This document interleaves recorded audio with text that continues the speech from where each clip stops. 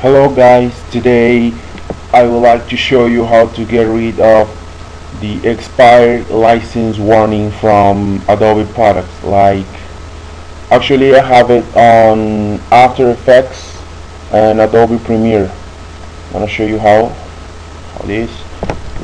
Like this. Okay. Let's hold a second. Like this. Uh, license licensing for this product has expired. Uh, the only uh, the only solution for this is you you buy the product get the the right code the right serial from from Adobe and then you're done. But the the easiest and fast solution for this is just simple just like that uh, put the year down. Now we have uh, 2012 actually we are in 2012 um, just go back to 2007 easy. Let me show you how to get rid of this. Okay.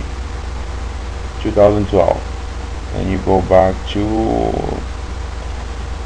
2007 okay okay. Then you try again. Uh, I'm gonna try with uh, Premiere with okay with After Effects again. You're gonna see how it works? There we go.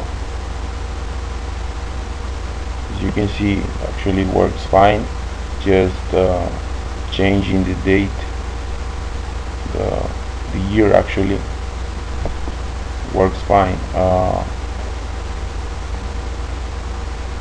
same thing gonna be with Premiere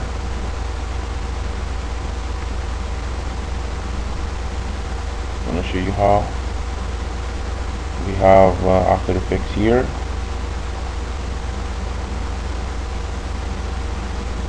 Premiere is starting up right now.